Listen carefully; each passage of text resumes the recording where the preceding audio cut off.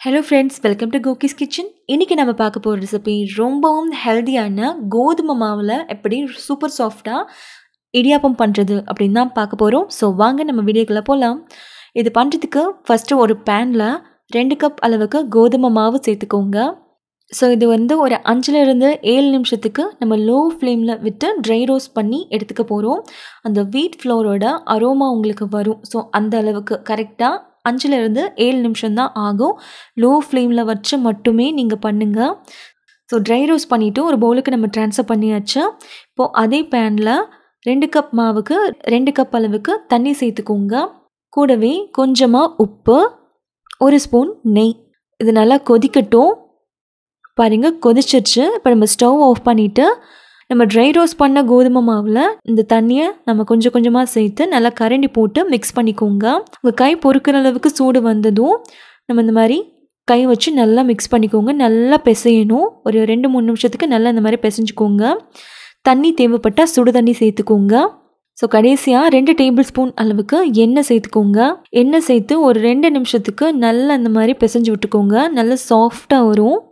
பாருங்கள் மாவு பார்த்தாலே தெரியுது எந்த அளவுக்கு சாஃப்டாக இருக்குன்னு. கையில் வந்து சுத்தமாக ஒட்டலை. ஸோ பாருங்கள் ரொம்ப சூப்பர் சாஃப்டாக இருக்குது மாவு. ஸோ அது இருக்கட்டும். இது காயாமல் இருக்கிறதுக்காக இதுக்கு மேலே வந்து கொஞ்சமாக இந்த மாதிரி எண்ணெய் தடவி விட்டுக்கோங்க ஃபுல்லாக ஸோ இது இப்போ இருக்கட்டும். இடியாப்பம் பண்ணுறதுக்கு ஸ்டாண்டில் வந்து இந்த மாதிரி ப்ரஷ் வச்சு நல்லா எண்ணெய் அப்ளை பண்ணிக்கோங்க.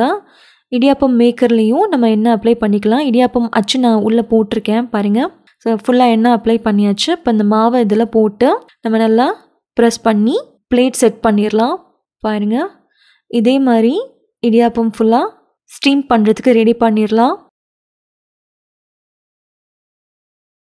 நெய்யோ எண்ணெயோ இந்த மாதிரி நல்லா தேய்ச்சிட்டு அதுக்கப்புறமா நீங்கள் புழிஞ்சிக்கோங்க. புழியறதுக்கும் ரொம்பவும் ஈஸியாக தான் இருக்கும். ஸோ பாருங்கள் தண்ணி இங்கே கொதிச்சிட்ருக்கு நம்ம ஸ்டாண்டை உள்ளே வச்சிடலாம் லிட் போட்டு க்ளோஸ் பண்ணிடுங்க பத்து நிமிஷத்துக்கு அப்படியே ஹை ஃப்ளேமில் விட்டுருங்க. பாருங்கள் பத்து நிமிஷத்துக்கு அப்புறமா நம்மளோட சூப்பரான இடியாப்பம் ரெடி ஆகிடுச்சு அது லைட்டாக ஆறினதும் நம்ம எடுத்துடலாம். பாருங்கள் நல்லா சூப்பர் சாஃப்டாக இருந்துச்சுங்க. ஸோ இது கூட வந்து தேங்காய் பால் சேர்த்துக்கோங்க. தேங்காய் பால் அப்புறம் கொஞ்சமாக துருவின தேங்காய். உங்கள் விருப்பத்துக்கு ஏற்ற மாதிரி சேர்த்துக்கோங்க.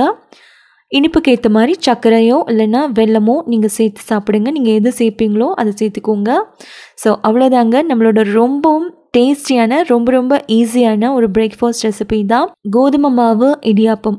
ரொம்பவும் ஈஸியாக பண்ணிடலாம். ஸோ நீங்களும் கண்டிப்பாக ட்ரை பண்ணி பாருங்கள் இந்த ரெசிபி உங்களுக்கு பிடிச்சிருந்தால் லைக் பண்ணுங்கள் ஷேர் பண்ணுங்கள் கோகிஸ் கிச்சனுக்கு மறக்காமல் சப்ஸ்கிரைப் பண்ணுங்கள் நன்றி வணக்கம்.